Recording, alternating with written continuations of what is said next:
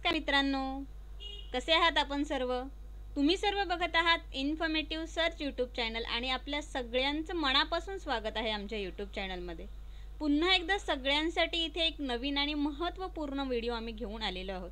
ज्याच्यामध्ये खूप महत्त्वाची माहिती इथे तुम्हाला बघायला मिळणार आहेत जसं की सगळ्यांना माहितीच आहे दररोज आम्ही इथे नोकरीविषयक नवनवीन अपडेट संबंधीचे व्हिडिओ इथे घेऊन येत असतो. ज्याच्यामध्ये इथे केंद्र सरकार अंतर्गत नोकरी राज्य सरकार अंतर्गत नोकरी सरकारी नोकरीच्या सुवर्ण संधी बँक भरती आरोग्य विभागात भरती प्रायव्हेट सेक्टरमध्ये भरती अशा वेगवेगळ्या विषयासंबंधी माहिती घेऊन येत असतो. तसेच ज्या काही सरकारी परीक्षा आहेत स्पर्धा परीक्षा अशा परीक्षेच्या तयारी संबंधीचे सुद्धा बरेच व्हिडिओ आपल्या चॅनलवरती आहे. त्यामुळे तुम्हाला जर हे व्हिडिओ दररोज बघायचे असतील आणि तुम्ही जर आपल्या चॅनलवरती आज पहिल्यांदाच आला असाल तर नक्की आपल्या यूट्यूब चॅनलला सबस्क्राईब करा. त्याचबरोबर नोटिफिकेशनचं बेल आयकनसुद्धा प्रेस करा. म्हणजेच अशा नवनवीन व्हिडिओची माहिती तुम्हाला इथे दररोज बघायला मिळेल. तर चला आता आपला वेळ वाया न घालवता आपल्या या महत्त्वाच्या व्हिडिओला आपण सुरुवात करूया. तर हे बघा मित्रांनो पिंपरी चिंचवड महानगरपालिकेचं हे ऑफिशियल पेज आहे. याची इथे एक नोकरीची जाहिरात निघालेली आहे. त्या संबंधीचा व्हिडिओ आपण बघितलेला आहे. तर आजच्या व्हिडिओमध्ये या संबंधीचीच ही माहिती आहे.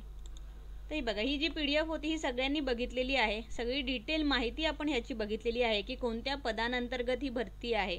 शैक्षणिक अर्हता काय असणार आहे? वयोमर्यादा काय आहे? पेस्केल कशा प्रकारे आहे? तर ही सगळी डिटेल माहिती आपण याच्या आधीच्या व्हिडिओमध्ये बघितलेली आहे. पण तुम्ही जर तो व्हिडिओ बघितला नसेल अजूनपर्यंत तर त्या व्हिडिओची लिंक इथे आय बटनमध्ये दिलेली आहे. तसेच या व्हिडिओच्या डिस्क्रिप्शनमध्ये सुद्धा दिलेली आहे. तर ती व्हिडिओ जाऊन बघा जेणेकरून ही महत्त्वाची जी काही अपडेट आहे ती तुम्हाला बघायला मिळेल. तर आजच्या व्हिडिओमध्ये आपण इथे बघणार आहोत या पदांसाठी जे आहे ते अर्ज ऑनलाईन पद्धतीने करायचे होते. तर ते अर्ज कसे करायचे आहे ते आपण बघणार आहोत. त्यासाठी बऱ्याच जणांच्या रिक्वेस्ट आपल्याकडे आल्या होत्या की अर्ज कसा भरायचा आहे त्याचा सुद्धा सेपरेट व्हिडिओ बनव. त्यामुळेच हा व्हिडिओ इथे बनवण्यात येणार आहे की अर्ज कशा पद्धतीने भरायचे कशा प्रकारे तुम्हाला इथे ऑनलाईन अप्लाय करायचं आहे. तर चला आपण आता ते बघूया. कारण की मित्रांनो ह्या ज्या काही भरती आहेत सगळ्या ह्या कंत्राटी नाही आहेत सगळ्या परमनंट इथे कायमस्वरूपी नोकरीची सुवर्ण संधी आहे. एवढे इथे पदं दिलेले आहेत. जवळजवळ एकशे पंधरा का दीडशेपेक्षा पद आहे. एक्झॅक्ट आकडा मला इथे ते आठवत नाही आहे मग तुम्ही पी डी एफ बघितलं तुम्हाला समजून जाईल. त्यामुळे कायमस्वरूपी नोकरीची सुवर्ण संधी आहे. सरकारी नोकरी इथे तुम्हाला मिळणार आहे. त्यामुळे नक्कीच या पदांसाठी अप्लाय करा. तर चला आपण आता बघूया की अर्ज कशा पद्धतीने करायचे आहेत ते. तर हे बघा ही ऑफिशियल वेबसाईट आहे. लिंक डिस्क्रिप्शन बॉक्समध्ये आहे. इथे तुम्हाला रिक्रुटमेंटवरती क्लिक करायचं आहे. त्यानंतर बघा इथे भरतीची जाहिरात बघायची असेल तर इथे क्लिक करा. आता आपण बघणार आहोत की ऑनलाईन कसं अप्लाय करायचं आहे. तर ऑनलाईन भरतीवरती आपण क्लिक करूया. तर सगळ्यात आधी तुम्हाला इथे युजर नेम आणि पासवर्ड टाकायचा आहे. पण तुम्ही जर न्यू युजर असाल तर क्रिएट युजर अकाउंट करायचं आहे. इथे क्रिएट युजर अकाउंट करूया आपण. हे बघा. त्यानंतर इथे सगळ्यात आधी तुमचं फर्स्ट नेम टाकायचं आहे. तुमच्या वडिलांचं काय नाव आहे ते आडनाव काय आहे ते जेंडर सिलेक्ट करायचं आहे. मोबाईल नंबर टाकायचा आहे. Mobile number email I D correct टाका. त्यानंतर कास्ट तुमची कोणती आहे? कॅटेगरी सिलेक्ट करायची आहे. कास्टची ओपन आहे. ओबीसी जी काही असेल ती सिलेक्ट करायची आहे. त्याच्यानंतर तुमची कास्ट कोणती आहे ते इथे लिहायचं आहे. युजर नेम तुम्हाला काय पाहिजे ते युजर नेम इथे टाकायचं आहे तुमच्या नावानुसार. पासवर्डसुद्धा तुम्ही स्वतः इथे फिक्स करायचा आहे. जो काही पासवर्ड आहे तो लक्षात ठेवा.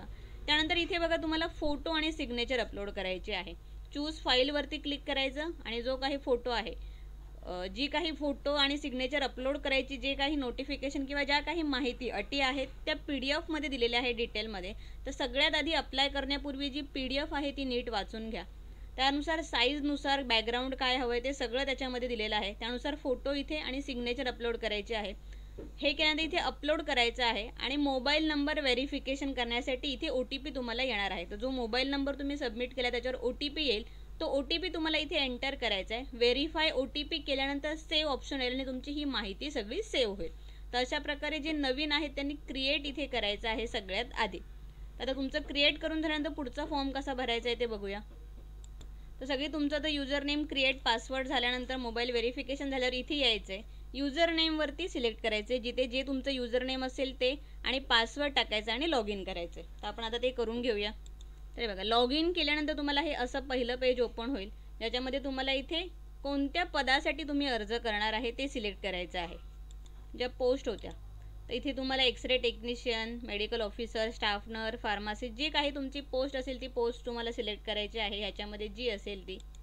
त्याच्यानंतर इथे हे बघा पोस्ट सिलेक्ट केल्यानंतर तुम्हाला इथे पदांची एकूण किती संख्या आहे कॅटेगरी वाईज किती आहे ते सुद्धा इथे डिटेल तुम्हाला बघायला मिळतील. तर तुमच्या कॅटेगरीनुसार जागा आहेत का ओपनमध्ये तुम्ही असाल तर ओपनसाठी किती जागा आहेत?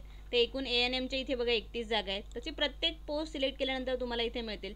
फार्मासिस्टच्या इथे एकूण सात जागा आहेत.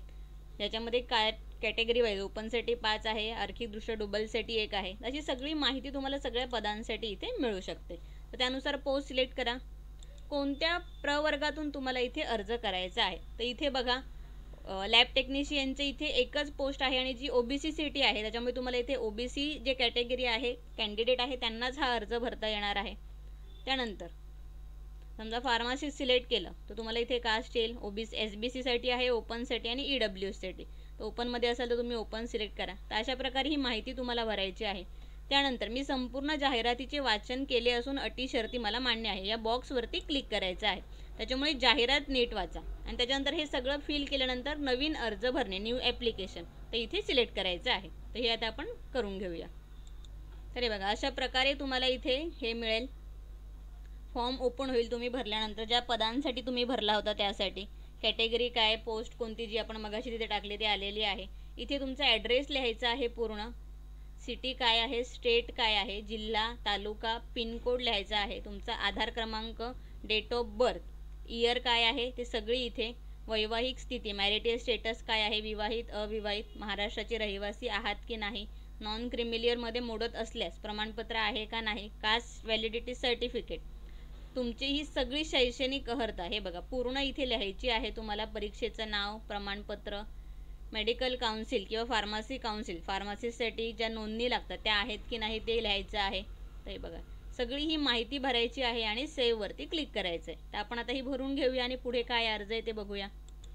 त्यानंतर सगळी माहिती भरून झाल्यानंतर सेव्ह केल्यानंतर तुम्हाला तिथे पुन्हा पेमेंट आणि प्रिंटचं ऑप्शन येईल. तर मी एक पेमेंट करायचं आहे. तुम्ही credit card debit card internet banking कशाद्वारेही इथे पेमेंट करू शकता. दीडशे रुपये ओपन कॅटेगरीसाठी आणि हंड्रेड रुपीज मागास जे का कास्टमध्ये आहे त्यांच्यासाठी इथे फी आहे. तर सगळा फॉर्म भरून झाल्यानंतर बघा इथे सगळी माहिती तुम्हाला दिसणार आहे. तुमचा application I D name transaction किती आहे ते ईमेल आय डी सगळी. आणि इथे बघा तुम्हाला क्रेडिट कार्ड डेबिट कार्ड ज्याच्याद्वारे पेमेंट करायचं आहे ते पेमेंट करायचं आहे. इथे त्यांनी माहितीसुद्धा दिलेली आहे. उमेदवाराने अर्जात भरलेली सर्व माहितीची पडताळणी करून नंतरच परीक्षा शुल्क भरावे. एकदा परीक्षा शुल्क भरल्यानंतर अर्ज एडिट करता येणार नाही. ही सगळ्यात महत्त्वाची माहिती आहे मित्रांनो.